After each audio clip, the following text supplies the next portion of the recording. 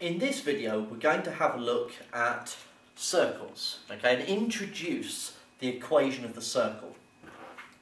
So, if you think about a circle that is centered at the origin, okay, so centered at 0, 0, then a point on the curve will have the coordinates x, y. And so, if I drew a right angled triangle from the origin to that point, then the length of the base would be x and the, the height of the triangle would be y. And we could say that this length is r, the radius of the circle. And so using Pythagoras, we can say that x squared plus y squared is r squared, where r is the radius. And this describes a circle centered at the origin with radius r.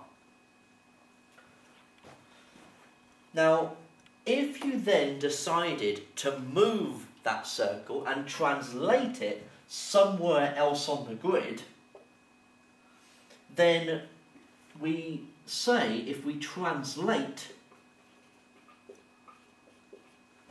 by the vector AB, then much as we did, much like what we did with uh, quadratics and with the cubics, you would replace x with x minus a, and you would replace y with y minus b. And so, the equation of this circle, centered at AB, with radius r, would be x minus a all squared plus y minus b all squared is equal to r squared. So this describes the circle centered at AB and radius of length r. And that is how you define a circle.